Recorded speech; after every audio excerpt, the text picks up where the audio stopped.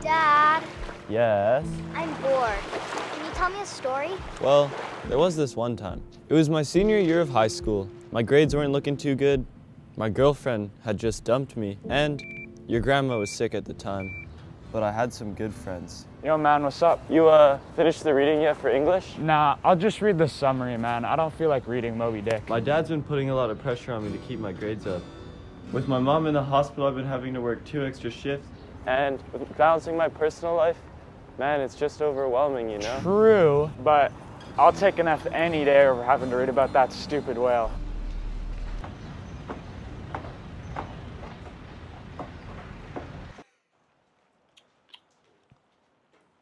Yo, man, is that banana?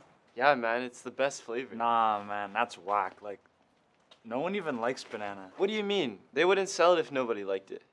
I mean, true, but still, like, any tropical flavor, like, Hey! Dad, is this story gonna get any better? Don't worry, it's just getting started.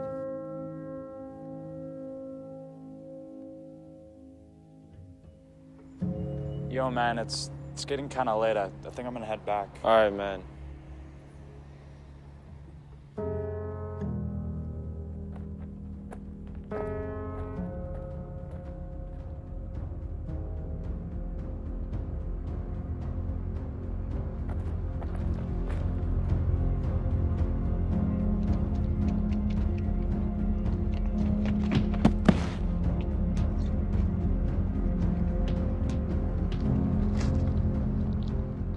Dad, the story's getting really sad. Don't worry, it has a happy ending.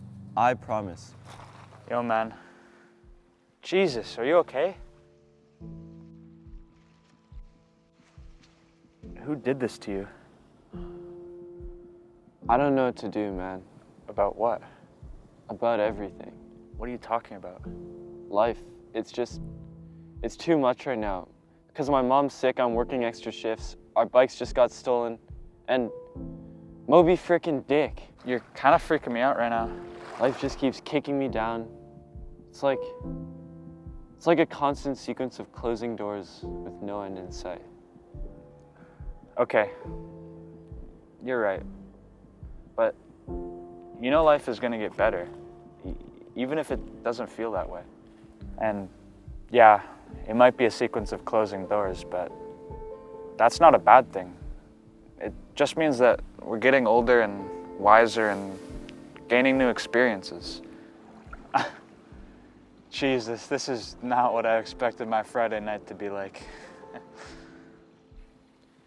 You know what I do when I'm having a really bad day, I'm stressed out, or I'm just worried about my mom? I imagine myself 20 years from now telling my own kids stories about my life. I'm happy and successful, and I tell her how everything worked out in the end. And when I do that, I know that everything's gonna be all right. It has to be. But it's fake. Yeah, well, it makes me feel better.